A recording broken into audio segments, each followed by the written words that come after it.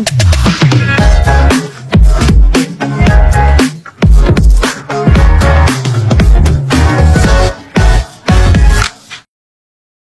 is Group 11 and we will be discussing about the environmental crisis and sustainable development. Environmental crisis is characterized by rapid and largely and unpredictable changes in the nature of the environment where are is not difficult to reverse. Examples of these are massive inter- in extensions and substan- substantial destructions of the system. Sustainable development. Sustainable development is referred to as the idea that human beings should sustain by meeting their basic needs, while also making sure that the future generations are able to meet their basic needs.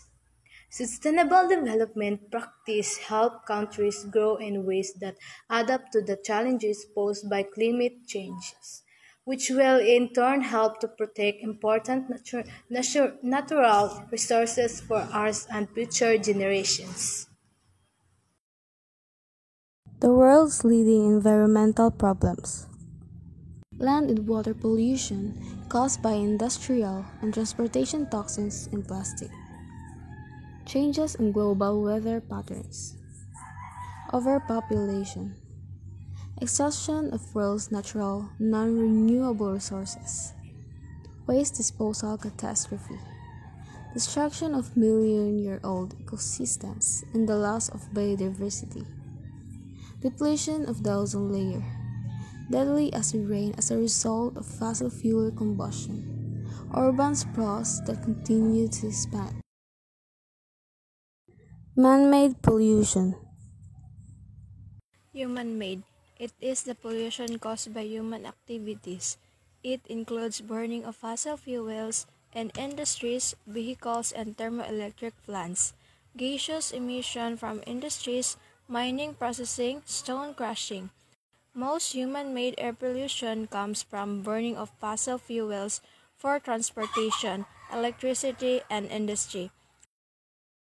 The following are the five man-made pollutions. Air pollutions. Air pollution is the contamination of air due to the presence of substances in the atmosphere that are harmful to the health of humans and other live, living beings, or cause damage to the cli- climate or to materials. Water pollution. Water pollution, the release of substances into the subsurface groundwater or into lakes, stream, rivers, estuaries, and ocean to the point where the substances interfere with the beneficial use of the water or with the natural functioning of ecosystem. Soil pollution, soil contamination, soil pollution, or land pollution as a part of land. Degradation is caused by the presence of symbiotic, chemical, or others alteration in the natural soil environment. Radioactive pollution.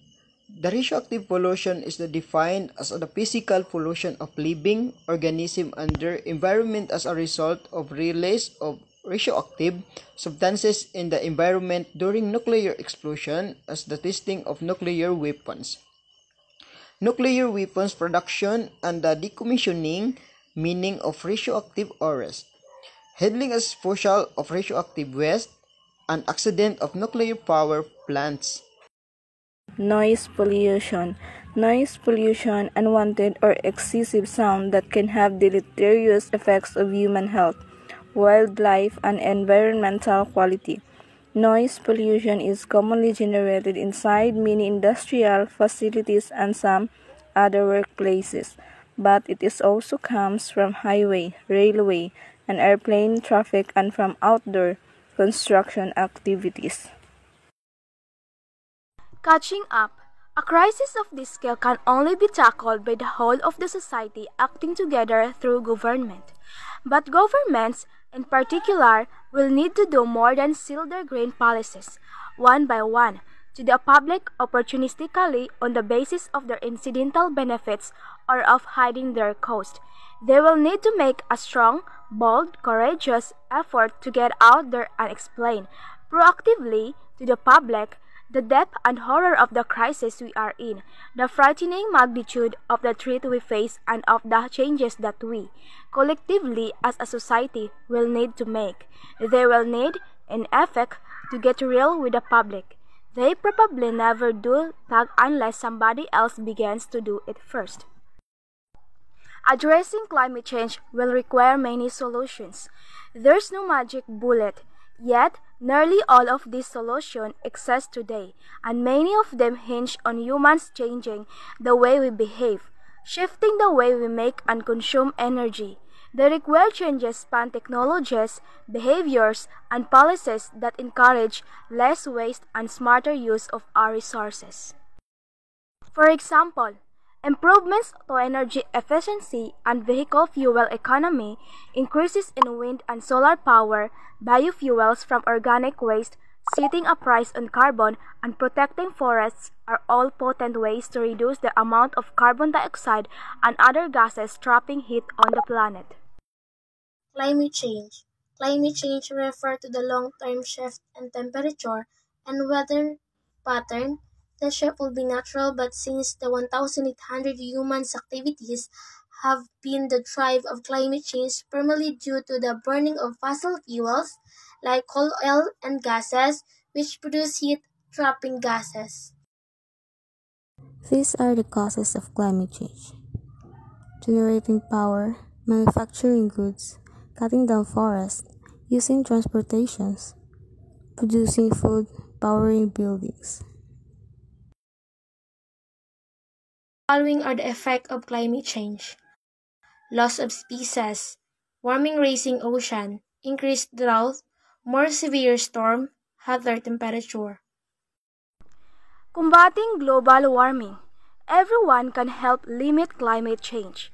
From the way we travel to the electricity we use and the food we eat, we can make a difference. Start with these actions to help tackle the climate crisis. Save energy at home. Much of our electricity and heat is powered by coal, oil, and gas. Use less energy by lowering your heating and cooling, switching to LED light bulbs and energy efficient electric appliances, washing your laundry with cold water or hanging things to dry instead of using a dryer. Walk, cycle, or take public transport. The world's roads are clogged with vehicles most of them burning diesel or petrol. Walking or riding a bike instead of driving will reduce greenhouse gas emissions and help your health and fitness. For longer distances, consider taking a train or bus and carpool whenever possible. Throw away less food. When you throw food away, you're also wasting your resources and energy that were used to grow, produce, package, and transport it. And when food rots in a landfill, it produces methane, a powerful greenhouse gas. So use what you buy and compost any leftovers. Reduce, reuse, repair, and recycle. Electronics clothes, and other items we buy cause carbon emissions at each point in production. From the extraction of raw materials to manufacturing and transporting goods to market, to protect our climate, buy fewer things, shop second-hand, repair what you can, and recycle. Our natural environment makes human life possible, and our cultural environment helps define who we are. It is therefore essential that our population and economic growth are environmentally sustainable. The environmental crisis is really a crisis of consciousness. Most people know the natural world is facing great challenges and degradation, but few know the true extent of the changes and deprivation the environment faces and its extended effects on human welfare and all other life on earth. There is a great gap between the multitude of problems the environment faces in all fronts and the level of awareness most people have on these issues. During this critical period of human history, our generation has been given the urgent task of reversing the damages of industrial civilization and overcoming perhaps the greatest challenge humanity has ever faced uniting as one conscious, sustainable force to secure the stability of our future, environmentally, economically, and socially for we cannot trust the planet. Participation as an idealist in group approach, achieving objectives of development is certainly impractical. So the only practical approach is mass, public, and widespread participation in which individuals have understood the importance of the case and get enough motivation for conserving available resources.